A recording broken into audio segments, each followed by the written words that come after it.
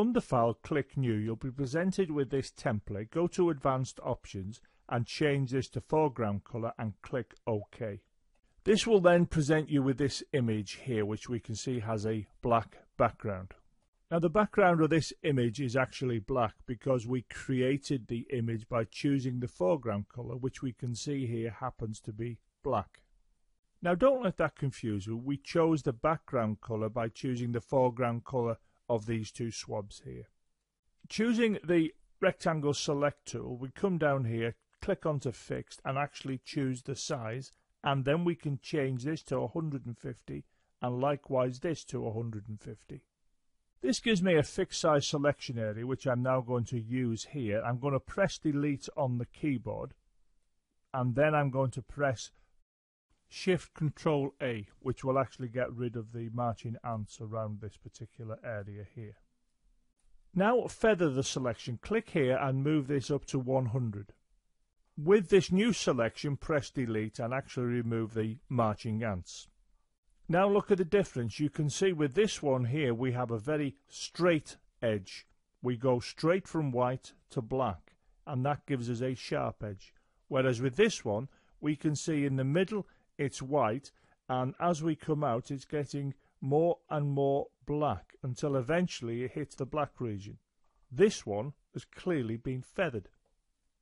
Let's now reduce the feathering and then go through the same process of selecting a region, deleting it and removing the marching ants. We can clearly see feathering has occurred but obviously not by as much as the previous selection. We will now choose the ellipse select tool. Draw an area on the screen, press delete and remove the marching ants. And here you can see there is no feathering associated with this particular selection. We will now actually go and choose some feathering and come here and select again and press delete and remove the marching ants. We can clearly see there's been some feathering. Choosing the free selects tool will draw a shape here and then press delete and remove the marching ants. And we can see we get a sharp edge here, i.e. there's no feathering. We will actually come here and introduce some feathering, do a drawing and press delete and get rid of the marching ants and you can clearly see feathering has occurred. We can also introduce feathering as follows. Here I'm just choosing the ellipse select tool, which I'll simply draw on the screen with here. I'll now come to select, go to feather, and into this region you can choose something. I'll go with the 50, press delete, and if you look here you can see it's been feathered. Here's a photograph taken in Picardy, France. Choose the zoom tool, go on to zoom out, and this will enable me to see the image and the surrounding area. I'm going to choose the ellipse tool and feather it at 100 and select both outside and inside the image as you can see here.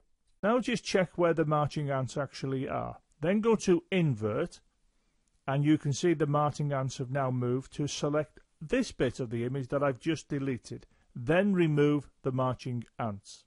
And if you look here you can see that the image has actually been feathered around the edges. Using this colour picker tool, I'm going to choose a colour from the sky, and you can see it appears here. Choosing the text tool and looking at its options, we can see that the same colour appears here. So the text, when I enter it on the screen, will be the same colour as that region of the sky, and hopefully will fit in with the actual image. With the text tool selected, draw in this region, change the font size to 200 and type in here the word Picardy and resize. Then come over here to the Move tool and move the word appropriately to this region. Ensure you have this layer selected. Come to Filters, go to Light and Shadow, choose Drop Shadow and enter in here 10, 10 and 30. Click OK and look down here and you can see there's a shadow behind the word Picardy. You may now typically want to flatten this image, so come to Image, come down here where it says Flatten Image, and you can see you end up with the one layer. I have now chosen the Zoom tool to actually zoom out so we can see all of the image on the screen there. Please note that the numbers I chose for the drop shadow and the amount of feathering and similar was based on the fact that I knew the size of the image was this size here. If the image had been bigger or smaller, then I would have to alter those numbers for this particular image. And in many ways, this is a question of trial and error, seeing what looks right when you do a drop shadow. seeing whether the feathering is appropriate for the image you actually have.